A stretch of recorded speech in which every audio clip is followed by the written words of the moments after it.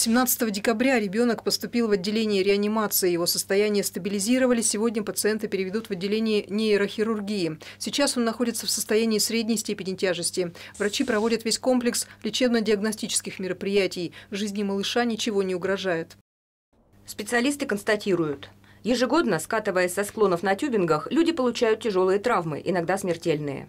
Так, позапрошлой зимой трагедия произошла в микрорайоне Бахаревка. Погиб человек.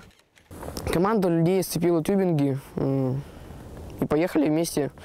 Их э, поставила треугольником и на углу девочка врезала в дерево.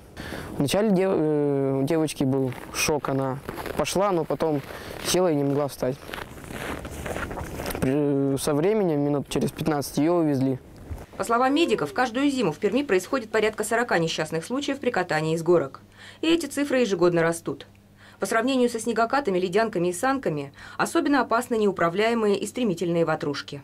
Тюбинг разгоняется очень, больш... разгоняет очень большую скорость. И, и так как эти трассы, их никто не обслуживает, они стихийные, то там может быть любая палочка, колышек, и может просто тюбинг порвать. В службе спасения напоминают, кататься на санках и ватрушках рекомендуется лишь на горках с уклоном не больше 20 градусов. Перед спуском склон нужно проверить, чтобы там не оказалось обрывов, камней, деревьев и других препятствий. А внизу должно быть достаточно места для торможения. Юлия Алеева, телевизионная служба новостей.